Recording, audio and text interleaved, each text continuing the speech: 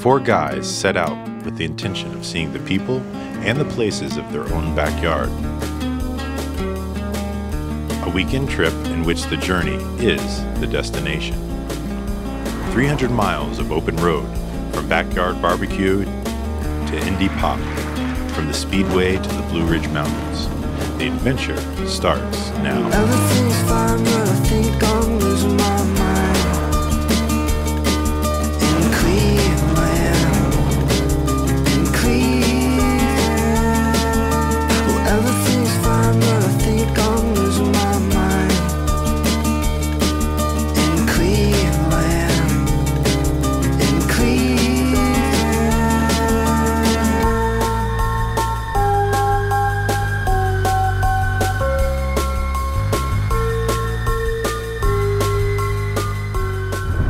Just go. Just get out there. Get out on the road.